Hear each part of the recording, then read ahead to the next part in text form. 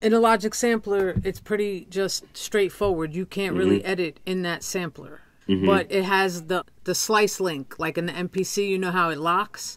So when you move one slice, the other slice is affected. I asked multiple people what you know, how do you edit these, and nobody knew. Everyone just told me the same thing that it's literally just a basic sampler. You put your chops in, and that's it. You're stuck with them. And I'm like, there's no way. So this video is going to show everyone how to do that.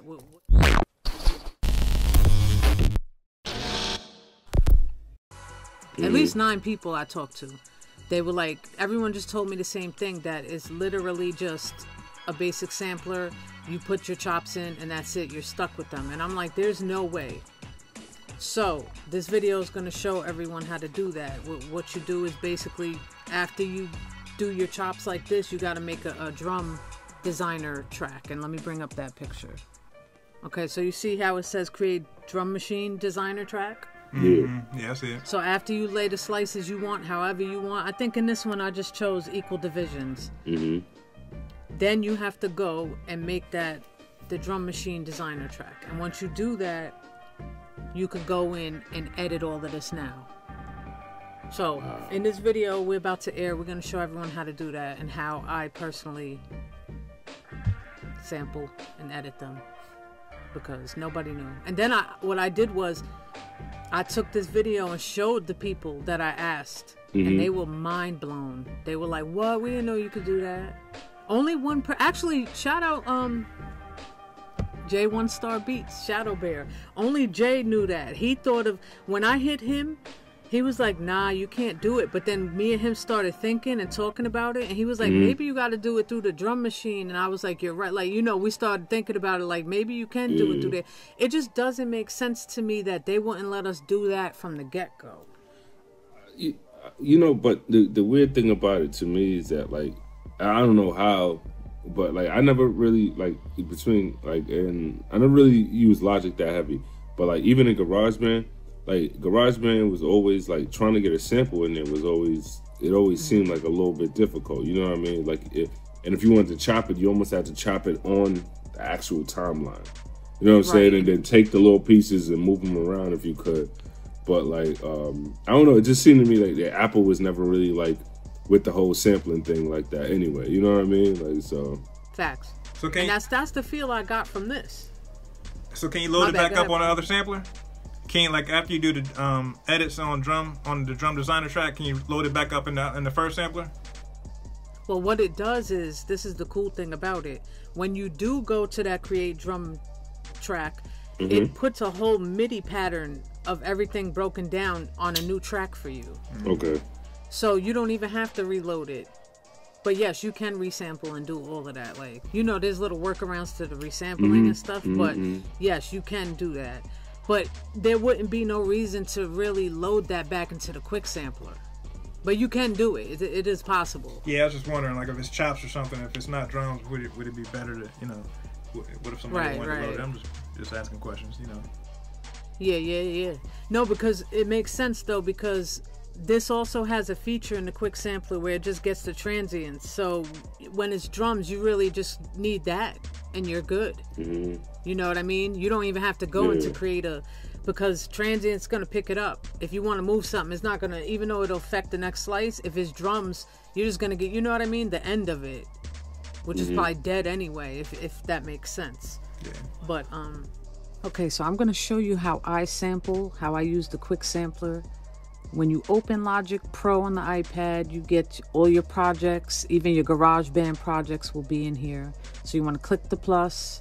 This will bring you to the main screen. We'll get into all this other stuff later, but you want to add a new track. Now when you pull this up, you we're going to add MIDI, but I just want to show you quickly if you tap on any of these three dots on any of these, it'll bring your defaults up and I already have mine set to quick sampler but um normally it'll be on none and you get to pick which one you want. And I'll just show you briefly all the items that options that you have here to pick from. I mean you could even pick instruments and and plug in some other apps.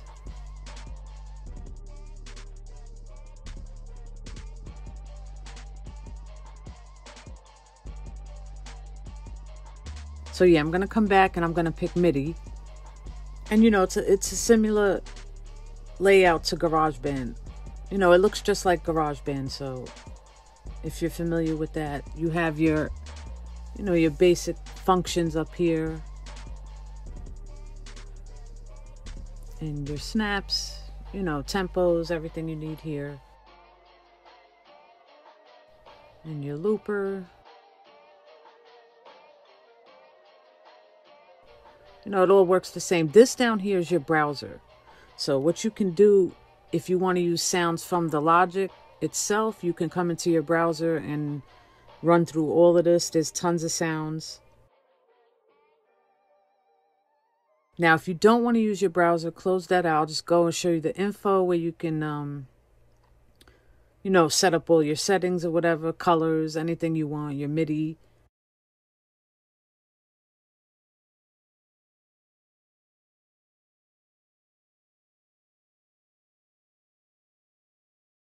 Channel mixer strip so that you can see your levels. Down here you have your editor. You can open it up and set it to whatever you want. Just take this, uh, when you go to snap, take the auto off if you want to change it to whatever you want. Click that off. Now this is where your actual sampler is going to be. And when you go to bring your sound in, these I'll explain more. When you go to bring your sound in, it'll be in here. But you have your MIDI effects, audio effects, your sends. We'll get to all of that in another episode. I'll just show you everything quickly, all the options you have. So if you were using a sound from InLogic, you could just come to your browser again and pull them over. I'm going to show you how to use sounds outside of Logic. So you're just going to close this Logic out, come to your Files app. You're going to open that up, click the three buttons on the top, and hit Slide Over and then you go back to Logic Pro, open it up, and then swipe the screen and bring in the Files app. And from there, you can just grab your your sample and drag it over. You you could drag it to the track, you could drag it right into the sampler, or you could drag it here. Once you click over here, you'll be able to open up your sampler. And you know, it's cool you could drag all this, make it bigger, close things. So I'm going to drag this up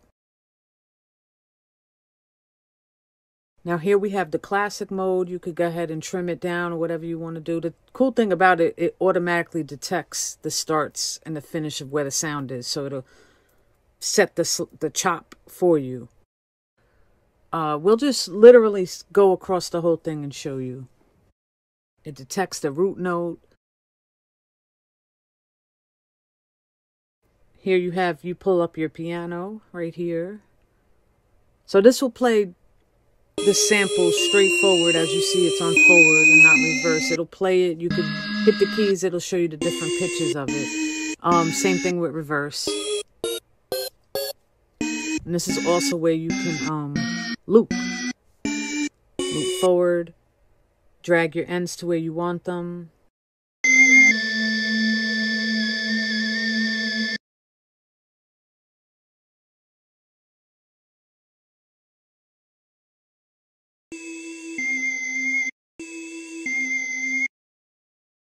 You could fade your sounds in and out right here.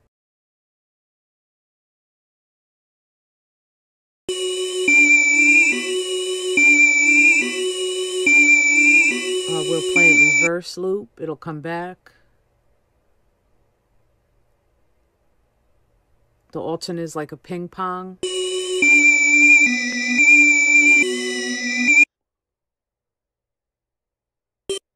Okay, I'm going to take that off and drag these back and we'll go into one shot. It'll just play it through. When you're on classic, you have to hold it for it to play. One shot just plays it through. I'm just going to come over here really quick and put on mono or one voice so that the keys aren't playing together. And, and that's just basic. Then we'll go to the slicer now. we go to slice. Now over here is where your snap will be on your slices. And it's, this is pretty cool. You could put it on transient and note. So it will detect where the transient starts. So if you slice it up a different way, it'll lock it on that. This is just to zoom it, zoom in. Same thing with the sideways. If you had it blown up, you could zoom in and out. Now, down here, it's on transient and note. So you see next to it is the sensitivity. You could choose how sensitive you wanted to pick that up. And then we have equal divisions. Beat divisions. You can come over here and, and have a million slices and change it up to what you want, one eighth, one sixteenth. But back to what I use, if I don't do it manually, it's going to be equal division. So this is a four bar loop, so I'll just chop it to sixteenths. As you see, it says sixteenths, but you can change it. You could put as many slices as you want in this. You know, the gate feature, they have the gate feature. We have to hold it to play.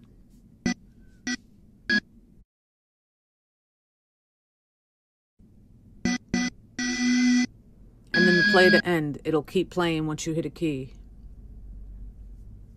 So, you know, these are options that are up to you.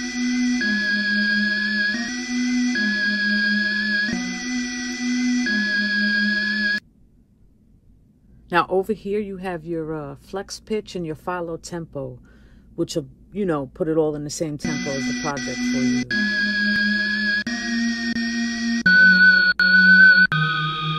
Now I'm going to get into more details on the flex pitch on another episode. So I just want to break down how to sample really quickly because I see a lot of people having problems with using the sampler on here. And this right here is a cool feature. It's a uh, you can half time the speed or double time it if you want. You can change up the speed. Now, before I get into manual slicing, which is just simple, um, I'm going to explain the things below this for you, how to change the pitch and everything. You have your LFO section. If you're familiar with like Beatmaker 3 and some of these other apps, you know, this is where you could come in and really, you can really do some creative things. You could sound design in here with your LFOs and all of that. Now, I'm not going to get into that right now. I just want to show you the basics. But yeah, like a lot of people, like you could bring your 808s in here, and we'll get into that into another episode as well. But let's go to the pitch. So now to change your pitch would be this knob right here. And it also has a fine tune. So let's just mess with it a little bit so you can hear it.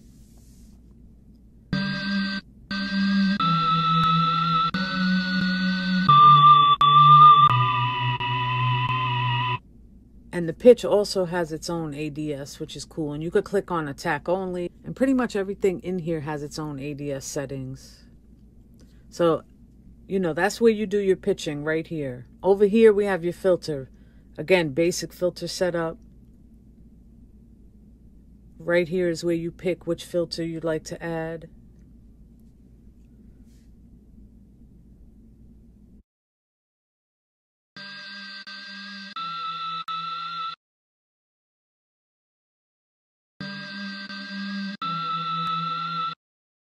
And over here on your amp, you have your pan,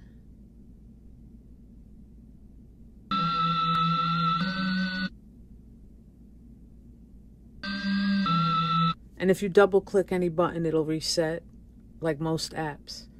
Um, over here, your, your mono. This one is your main level volume right here.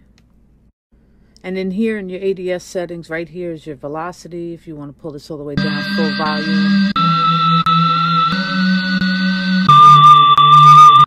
So we'll click in here and go right to the attack and raise that up a little bit.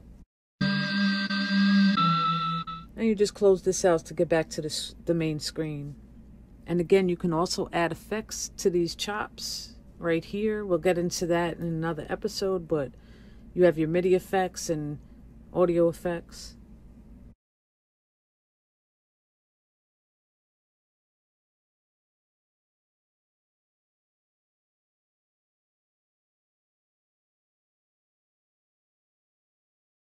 Okay, so let's get to the recording part. You just want to come here. Now you can do this or you could just hit record and go. But if you create a new pattern here, a MIDI pattern, you can, you know, preset your quantize or whatever you want. So you just click here, double click this, or if you're using a mouse, you could even right click on this and edit. And you see right here in your info is all your um, quantize settings or whatever you want to set up. Now you could just go ahead and record right into that. If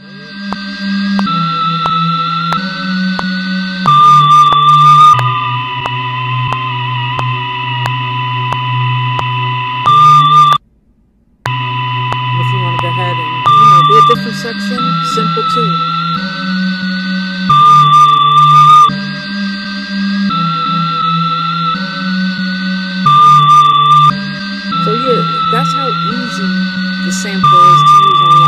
For the iPad. I know a lot of people get confused because they don't, you know, know where it's at. They don't know how to load it up. So hopefully this will help anybody that was having any problems.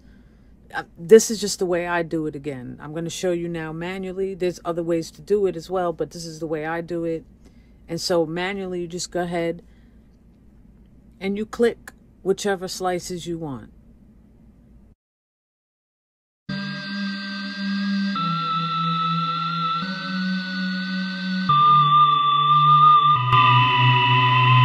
See this bar is your info bar for each slice. You could just X out of it if you need to, but when you're on it, first of all, to get to it, you just click one of your slices right here. If you want to delete it or move it, you can just drag it, and then you see in the info bar, you could delete it right here.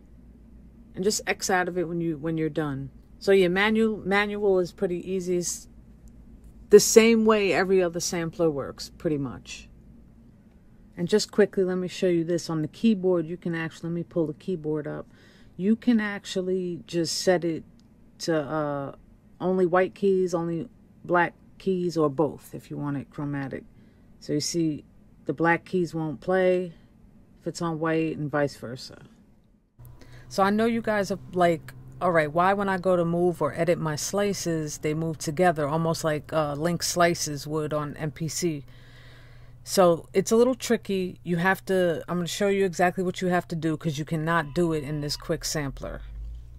So you're going to come over here to uh, these three dots and you want to come down. You see you have a bunch of options here, but you want to go into functions. And then in functions, you want to come down to create the drum machine design designer track. Now I know you're probably like, why didn't we just start with the drum machine designer track? But it doesn't work that way for some reason. Maybe, you know, in the future they'll update it where it's a little simpler, but so once you do that, you'll see your your little pattern will pop up here with all the MIDI in it and everything, and then you'll get drum pads down here. Now you can go in and edit these individually and change up and move your slices around. So come over here, bring up the quick sampler again, uh, click on whatever pad you want to edit, then click on your quick sampler and now you could go ahead and move your your endpoints and your start points without having to worry about the other slice being affected. And you can fade in here as well, fade them out and in. Yeah, just don't be afraid to, you know, click into everything and see what it does. You have all these options. I know it's a bit of a workaround to be able to edit these, but that's how you do it. You know, if if you're determined to use this this program, this app, this is how you do it. And you don't have to use the pads, you can use the keyboard. Um you could even use the guitar strips. You can put these on anything.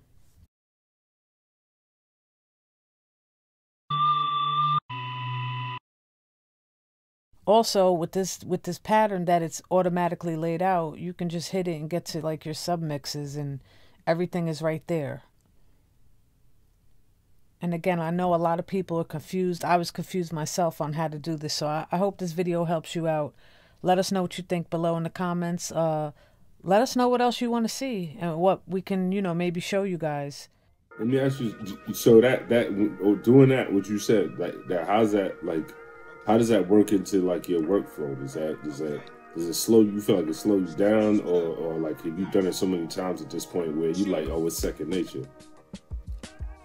It was coming to second nature, but uh-huh. the fact that I have to stop and do that is time consuming and yeah, it does it, it makes me want to just go to the easy Koala or Beatmaker mm-hmm. 3, you know what I mean? And even yeah. like Beatmaker 3 is a very in depth app and you have to do a lot to get to a lot.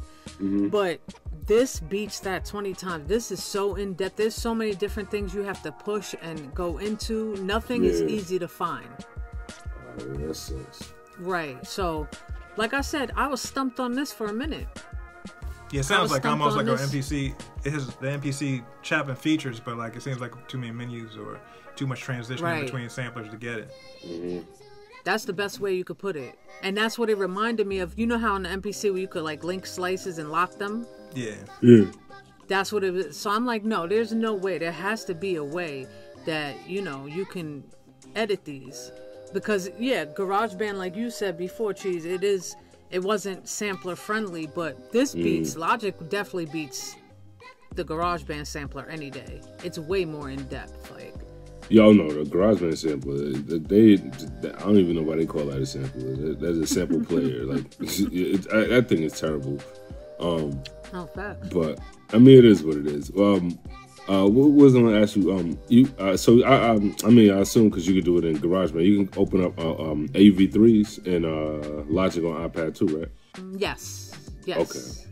And right. the cool thing about it, yeah, like you can just start with a track mapped out like that. Mm-hmm. You could set it default if you want to, because it that that's dope, dope, dope. That feature in this Logic is amazing because there's so many different options. I just think people are gonna get lost and there's so much to do. You know mm-hmm. what I mm-hmm. mean? so many mm-hmm. different but you know we'll cover it here and there we'll, we'll go through each step again this is just the way that i've been sampling on it you know what i mean yeah. it's the workaround that i i came up with to just try to edit my my because i'm not just a i don't just set chops and leave it i always got to go in there and you know play with it or whatever yeah you gotta make it your own right right right but um you know, it's not bad if you get used to it. It's cool. It does, like I said, that extra step is time consuming. So it mm-hmm. does kind of make me want to just go back to the easy samplers. But does it got time stretch? Yes, it does. Has so you, you time stretch using drum designer? Huh? You time stretch it in drum designer? You just change the tempo on it and it fits? Yes, I believe you can. I'll let you know for sure right now. I'm gonna pull it up. How much is it monthly? Five dollars. It's fifty a year and five dollars a month. So that's not bad. Yeah, yeah it's not like making or breaking me. Yeah, I still cancel them. Yeah, so you can also time stretch in the um in the drum designer track because like I said, it makes it literally makes a pattern with everything in there for you. All the notes are in there for you. Just simple, you know, where you could drag and just Oh. Yeah, yeah. yeah.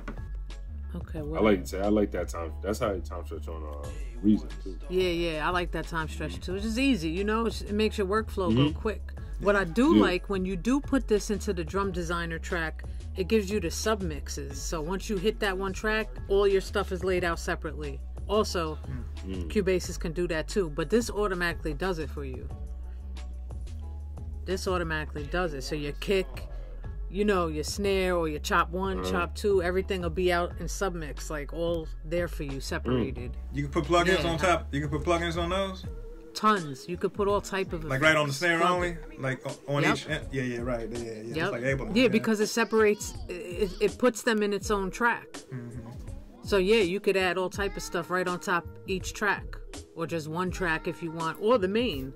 You know what I mean? The the whole main mix. That I, I, will give it that. It's really good. Like the mixer and, and, all of that. They really thought that out well, and, and, that that's really good in Logic. It gives me that Cubasis because Cubasis was the only other one that did it like that. Yeah, I'm glad Koala made that semi. You know, the, the new functionality is kind of like that too. You know, like at least mm-hmm. breaking it down into four pieces. You know.